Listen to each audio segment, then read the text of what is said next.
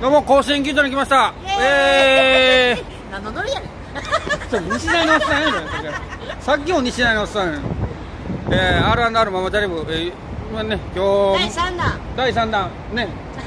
元町に向かって走ってる途中にこう西宮市の阪神甲子園球場に着きました。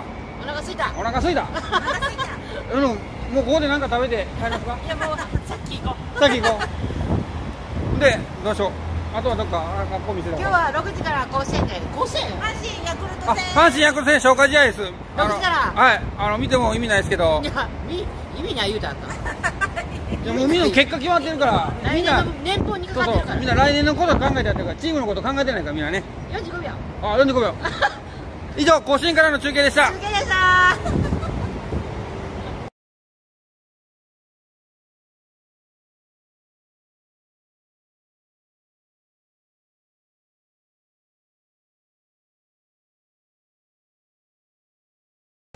さあ今、えー神戸南京町に着きました、えーここはね中華街でねいろいろ中華がいっぱいあるんでですけどもまあねあの横浜にも中華街あるんですけど横浜の方がちょっとねいろいろ大きくて。神戸のはちょっと狭いんですけどもいろいろねみんなこのね神戸っ子ねまあいろんな学生さんとか、えー中国人とか 中国人おかしいですけどもね、えーいっぱいみんな来てこの平日の昼間から楽しんでおります。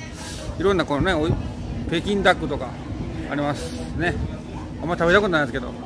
北京ダックって興味ね。うわむすごい。また、えーご賞味してみたいと思います。あー危なー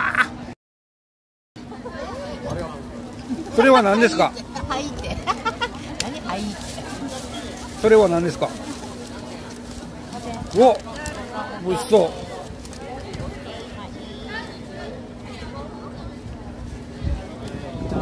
ああすげえ。えこれ何も醤油とかかけんの？そのままで。このままで？手で食べた方がいいへえおおいただきます。いただきます。何年ぶりやろ？なんか 10, 10年ぶりぐらいに食べた。あ食レポして食レポ。は い姉ちゃん食レポして。いめっちゃうまい。えでも昔より肉の量減ってるような気がする。絶対言うやつおるよな。ああおるおる絶対おる。まあほんと？まあまあ。おいしい